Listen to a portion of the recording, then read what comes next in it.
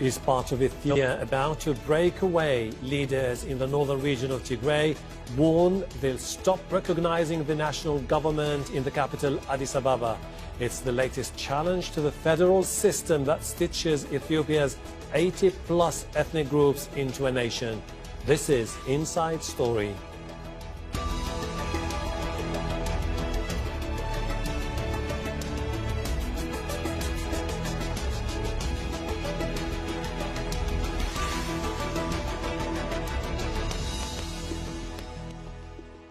Welcome to the program. I'm Hashem Ahelbarra in Doha. When Ethiopia's prime minister came to power two years ago, Abiy Ahmed promised an end to authoritarianism and the start of the transition to full democracy, but his plans have met resistance nowhere more than in Tigray, in the northern region where a recent election was held in defiance of the federal government. Tigrayan leaders warned that they'll stop recognizing the leadership in Addis Ababa. That's adding to fears that Ethiopia could break up as the prime minister deals with growing calls from other regions for more autonomy. The feud between the federal government in Addis Ababa and Tigray's regional leaders escalated last month when they went ahead with the elections for the Tigray parliament. It was an act of defiance against the federal leadership in the capital, which blamed the coronavirus emergency for postponing all elections. The region's governing party, the Tigray People's Liberation Front, accused Prime Minister Abiy Ahmed of halting the polls to stay in power. Until recently, the TPLF had been part of a coalition of ethnically based parties, each in control of their own region. They've since merged into Prime Minister Ahmed's Prosperity Party, but the TPLF refused to join, leaving it without influence in federal government. Mohammed Adow sets up our discussion from Nairobi in neighboring Kenya. The standoff between the Tigray region of northern Ethiopia and the government, the federal government in Addis Ababa, is deepening with the leadership of the region now threatening that they will stop recognizing the prime minister until he holds elections. The elections were slated for August, but the prime minister had postponed them, citing the coronavirus pandemic. He says he's committed to holding elections, but as yet has not given a date when these elections will be held. The Tigray region and its leadership have been a thorn in the flesh of the prime minister ever since he came to power in 2008. And uh, with the regional uh, leaders uh, who are the former ruling elite and members of the Tigray People's Liberation Front, which ruled Ethiopia for almost 30 years, um, say that the prime minister has been carrying out swift reforms, rescinding some of the progress they have achieved in the almost three decades they've been in power. The Prime Minister on his part says that giving freedom to the people of Ethiopia was necessary and that he was not going to uh, remain hostage to the party. Of course, the TPLF has quit um, the ruling coalition. They've also uh, taken their members out of the government of Prime Minister Abiy Ahmed. They have been secluded in Mekelle, the regional headquarters in the north. Uh, some of the leadership of the TPLF are being sought for crimes supposedly committed while in office and for all intents and purposes have cut ties with the government for almost the last two years. Uh, they are surrounded by the federal forces of Ethiopia, but the Ethiopian prime minister has categorically stated that he was not going to um, use military means uh, to resolve uh, the standoff between him and the leadership of that region. Of course, it's not just Tigray that has some issues with the Prime Minister of Ethiopia. Some other regions are also unhappy about his dispersal of the constituent parties of the former ruling party uh, or coalition, the EPRDF, the Ethiopian People's Revolutionary Democratic uh, Front.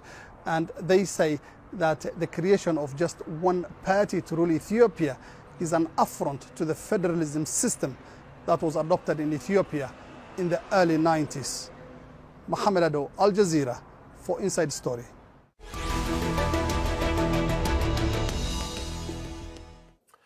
Let's bring in our guests. In Frankfurt, in Germany, Tsedale Lemma, editor-in-chief of the Addis Standard newspaper. And in Ethiopia's capital, William Davison, senior Ethiopia analyst at International Crisis Group. Welcome to the program.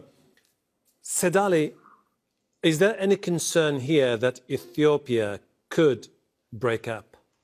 Well, it is um, a considerable concern, um, given that Tigray regional state is not budging down on its demands, and uh, the government in Tigray kept referring to the current situation as a potential recipe for Ethiopia's disintegration.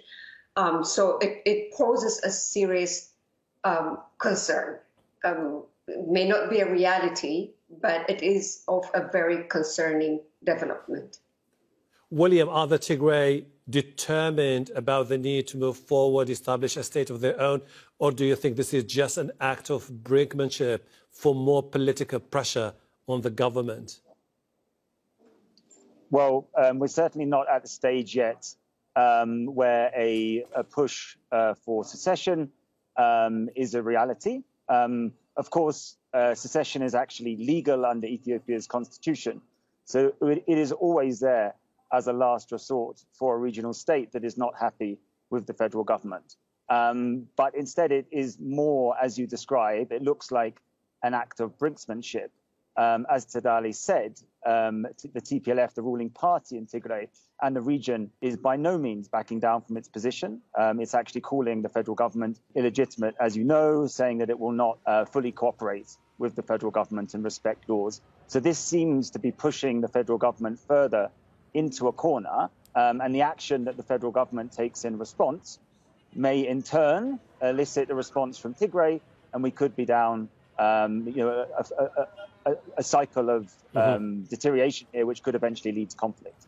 Tsedale, the, the, the Tigray regional government went ahead with the regional elections and then said that it won't deal with the government and it threatened that it won't recognize or extend the mandates of the federal parliament and also the government, and that from October the 5th, they won't recognize the legitimacy of Prime Minister Abiy Ahmed. That's, that's a serious threat to the federal establishment. It, it indeed is. Um, the, the, the, more concerning issue is uh, the way the federal government kept on downplaying this.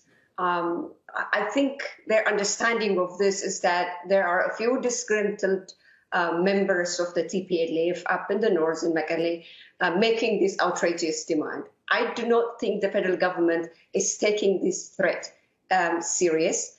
The president has just delivered her opening speech at the joint parliament today, which uh, commences the beginning of the new working year for the incumbent. And Tigray region has further taken other measures uh, in which that they have announced that today they are pulling off their representatives, both from the House of People's Representatives and the House of Federation, and also other elected offices. Uh, like the Council of Ministers. They don't mm-hmm. have representatives there, but symbolically they say so. And so I do not see Tigray regional state um, watering down its demands. Uh, because that would mean they would have to overturn the elections that they have, in which more than 2.7 million Tigrayans have participated. You know, they would have to overturn, recall that election if uh, if they needed to make any compromise uh, in the demands of the federal government, or the federal government had to recognize that election.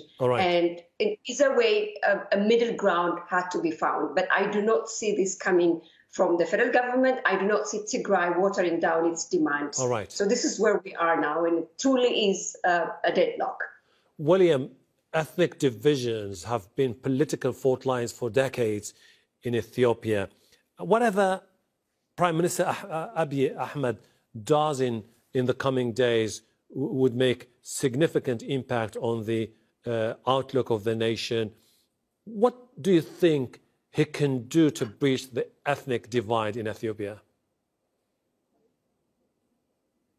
Well, I mean, yes, Ethiopia has many deep um, political problems. Um, some of them go back decades, even centuries. So there's nothing that can be done in the short term to resolve those problems. Um, what we're seeing um, with regards to Tigray region um, and its dispute with the federal government is a, an argument over the constitution.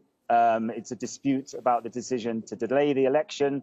um, and both sides accusing the other of now lacking legal legitimacy. Mm-hmm. So this is clear indications of a federation that is facing the most extreme strains. And as you um, refer to, there are, always, there are also a number of other very serious political problems, notably in Oromia, um, where it's believed that the, um, the federal government has lost a considerable amount of support mm-hmm. amongst Ethiopia's most populous regional state. What this all amounts to is a need for serious, concerted, comprehensive political negotiations in Ethiopia. Now, many actors acknowledge that. Um, many actors are pushing for that. But you know, whether it's some hardline um, preconditions that have been set up by the, the Tigray government mm-hmm. for talks to occur, or whether it's the fact that some opposition leaders have recently been arrested, or whether it's doubts about the federal government's commitment to those types of negotiations, there are some serious obstacles in the way. But it is an absolute must that some form of inclusive, comprehensive political negotiations take place to address all of these outstanding issues. Tsedale, the, the TPLF, which is the dominant political force in the Tigray region, says that it has been betrayed by the establishment in Addis Ababa and particularly by Prime Minister Abiy Ahmed because the political landscape has always been dominated by the ruling coalition, which is the uh, EPRDF. Now, they were somehow marginalized by the Prime Minister and the political influence started to wane. And they said, if we're going to lose, the only option left for us is to move backwards towards our enclave and dictate our own terms. Well, the, you know, the, the, the, grievance, this grievance from the TPLF has its foundation from, in my understanding, from the way the prime minister has uh, has done the two major things. One mm. is when he dismantled the EPRDF itself uh, to, to establish his own party, what is mm-hmm. called now the Prosperity Party. Uh, he, when he did that, TPLF was not in agreement with it. They said this was not what we have agreed, although establishing um, a single party out of the coalition was always in the corridor, in the agenda there. So they disagreed with, with that, and they, that's when they walked out of the, the new formation of the Prosperity Party. I think that this was preceded by another fault line, in my understanding, uh, when the Prime Minister began to single handedly prosecute TPLF members for all the mistakes that were done in the last 27 years, mm-hmm. uh, in which the Prime Minister himself has apologized for the Ethiopian people in the parliament but then soon after that, he started, you know, prosecuting. His government started going after TPLF senior leadership, and others were, you know, untouched. So this has really caused some serious concerns, some serious grievances among the TPLF. And they never wanted to join the party that he established. So these two fault lines have exacerbated the, the, the, disagreement between the federal government and the TPLF. Mm-hmm. Uh, that's what led the TPLF to you know, flee altogether uh, and and and um, locate itself in, in Tigray, which has created a physical distance other than also the political program distance or crack mm-hmm. between the two. So that created a significant strain in the relationship between the two today. William, the, by dismantling the EPRDF and establishing his own political party, the PP, the Prosperity Party, which he considers to be the, uh, the only option to bring the nation together. Is the Prime Minister genuine about bringing the nation together, or do you think this is a political move to further consolidate his political clout? Um, no, I think that Prosperity Party um, was, in many ways, um, that, that, that type of move to replace the EPRDF coalition was necessary because the EPRDF had had a very long rule. Um, it was widely accused of authoritarian practices. The TPLF was considered to be overly dominant within the EPRDF, and ultimately, um, the EPRDF parties were fighting against each other at the end. So there was an absolute need to move on from the EPRDF, and I think that was the prime motivation for the creation of Prosperity Party. But you're absolutely right. There has also been a desire, understandably to some extent, from the Prime Minister to distance himself from the legacy of the EPRDF and the TPLF and also to some extent the ethnic politics and the ethnic federation um, that characterized that era. Mm-hmm. Um, now, moving ahead um, with the Prosperity Party, um, the, the problem has been that you know at the root of Ethiopia's political dysfunction are these disagreements about the type of federal system, and particularly you know the degree of autonomy that regional states have, and whether it's even correct in the first place for those regional states to have an ethnic character. Now, with the creation of Prosperity Party, many of the prime minister's opponents from the ethno-nationalist camp, they believe that this is the first step to undermining that ethnic basis to the regional states and their autonomy. Okay. And that's one of the main reasons that it's led to these you know, continuing chronic political problems that we see. Said the Prime Minister has been promoting uh, Medemer, or the togetherness within the diversity of Ethiopia. It's quite fascinating that even in his bastion, like Oromia, he doesn't seem to be really selling that notion to the people, and he seems to be losing ground even among his own supporters. And it is. Uh, I think the way the political trajectory today that is being uh, overseen by the, the, prime minister has very little to do with the political philosophy that he passionately introduced to the Ethiopian people, you know, Medemer, as you say. Um, the way he established the Prosperity Party is, I think, at the root cause of, the problems that he's facing even in Oromia, because what is happening with, with the organizational structure, if there is one, of the Prosperity Party today is the consolidation of power among the very few people. And chief among them is, of course, the prime minister. He is the president of the Prosperity Party, but he's also seen firing, for example, a central committee member, Lemma Megersa, not on behalf of the Prosperity Party, but on behalf of the Prosperity Party's Oromia branch. This shows you that the party structure lacks coherence and that the prime minister does as he wishes to, and there has not been any consent. It didn't even follow the procedures that were outlined on the Prosperity Party's mm-hmm. manifesto. So this is an indication that power has been consolidated and is being consolidated among okay. the few. And the prime minister is in the in the in the uh, leading of this. So this has been very clear to the people in Oromia it's very clear to the people uh, anywhere else as well. The South is the same. In southern nations, you know, there is mm-hmm. no uh, there is no structure that's governing the South. What we see is the prime minister's wish to even undo an entire uh, zonal administrations, okay. as we have seen in Wolaita, you know. And so there has been that uh, kind of inconsistent organizational structure uh, being presided by the prime minister today. So this is at the root cause okay. of uh, of uh, his, you know, um, losing the grounds on both in Oromia in the south and elsewhere else. William, it's become extremely difficult to sell the notion of federalism in a place like Ethiopia with the rise of ethno-nationalist uh, activists, basically in all the major regions. Just to give you an example, the, while the Tigrayans, for example, are adamant about the need for self determination in the future, the Oromo people, for example, the Oromo Democratic Party has been advocating the notion of Oromia's special interest in Addis Ababa as their own stronghold when we know they are a minority there compared to the Amhara, uh, uh, to the Amhara. Isn't this conducive to further disintegration in the near future unless there is a miracle? Well, yeah, just want to, to, pick you up on something there. I mean, I, I don't think that um, the, the, idea of a federal system has been discredited in Ethiopia.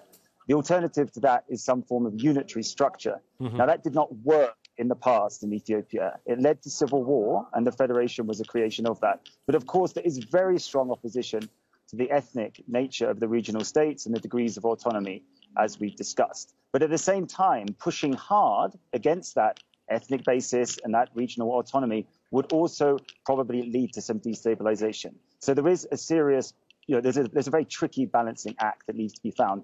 Undoubtedly, there is also a problem with um, elements of ethnic nationalism, also with elements of the design of the federal system. And mm-hmm. as you correctly point to, the issue of Addis Ababa and what's described as Oromia's special interest in it um, is an outstanding issue. But that can be worked through through legislative processes, through compromise, through some form of power sharing, revenue sharing, other mechanisms. But at the moment, we are not seeing that sort of consensual compromise politics. Instead, we're seeing lots of zero sum politics. We have this fundamental divide mm-hmm. over the federation. Then we also have these different competing ethno nationalisms. The country needs to get past that and starts looking for practical ways to address its problems. Let's see how, how, how to move forward. Tsedale, I mean, uh, ethnic nationalism is always driving a, a, a, populist agenda. And the lesson people learned from the ethnic federalism in Yugoslavia is that the moment you have similar discontent, that could just degenerate into a full-blown civil war. What do you think sh uh, should Prime Minister do in the near future to stop this crisis? Do, does he have to tackle ethnicity or move forward and reform the constitution? Well, you know, Ethiopia is a country that has always been ethnically divided. Uh, this ethnic, uh, we, we, simply throw this word around, but this, this concept of ethnic politics did not enter Ethiopian's, Ethiopia's body politics in the last 27 years. It has always been there. What is, what is highlighted in the last uh, 27 years is that regional states has their own uh, ethno-linguistic uh, boundaries now. You know, the, the, creation of the regional states such as Oromia regional state or Amhara regional state. Going forward, we are at, at, at a political deadlock, obviously, and, um, and, and there are increasing calls for for an inclusive national dialogue. There's a troubling aspect of understanding from the ruling party whenever this word is mentioned about a national dialogue, in that they understood it in a way a power sharing arrangement. I do not think that parties are calling for that. Of course, there are parties that are calling for a transitional government. Mm-hmm. Um, uh, the TPLF itself is calling a national dialogue, uh, but also an establishment of a technocratic government, which is agreed upon by all stakeholders. But TPLF is also calling on the release of political prisoners. Mm-hmm. Because a national dialogue cannot be had, obviously, with key stakeholders behind bars. So this is the call. And, and an extraordinary call was also made by the Patriarch of Ethiopian Orthodox Tewahedo Church uh, in his address on the eve of Meskel celebrations, where he clearly outlined for political elites to put their differences mm-hmm. aside and come in one room and negotiate and discuss. Okay. I don't think any other uh, way out of this the, as we go ahead as well. Whether we want an ethnic federalism or whether we want a unitary system, this cannot be done without having an inclusive, okay. all-rounded dialogue with all stakeholders. And this is the only way out I see at the moment. William, eh, eh, I think it would be very naive to assume that you can tackle ethnic divide when the continent itself has been marked by the by, by the ethnic divide and ethnicity. It's, it's, it's woven into the political, social, and cultural fabric of the uh, continent. But what about building democratic institutions? Because this is where Abiy Ahmed has failed in a sense or another. He came about with this vibrant call for genuine transparency and democracy. Still, doesn't, that does not seem to be the case. Well, what we've had, what we've had um, uh, yeah, during Abiy Ahmed's premiership is continuing political volatility, plenty of violent episodes. So that really hasn't allowed the space um, for any kind of significant democratic reforms to take place. Uh, we do still have, you know, very significant appointees in charge of democratic institutions, whether that's the Supreme Court, the Human Rights Commission, the Electoral Board. So there is still plenty of reason for hope. But at the root of Ethiopia's problems, as we've been discussing, is these fundamental political divides. So until the country, as Tsedale says, um, conducts some form of national dialogue to address the fundamental issues, as part of that dialogue sets the conditions to hold some form of free and fair election, then we are likely to have continuing political turbulence. Whilst we have that continuing political turbulence, the federal government will be firefighting. There will still be rivalry between regional states. There will be a host of other problems. And essentially, there will not be the space for that time of institutional um, development, the, the, growth of autonomous institutions that the country needs. So really, the first, the, the, first order problem is to sort out the politics and then address these deeper lying issues. It's a nation at a critical moment.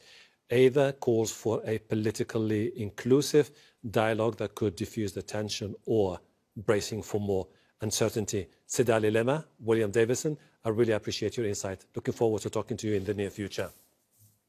Thank you too for watching. You can see the program again anytime by visiting our website, aljazeera.com. For further discussion, go to our Facebook page, that's facebook.com forward slash AJ Inside Story. You can also join the conversation on Twitter. Our handle is at AJ Inside Story from me, Hashem Ahelbarra, and the entire team here in Doha. Bye for now.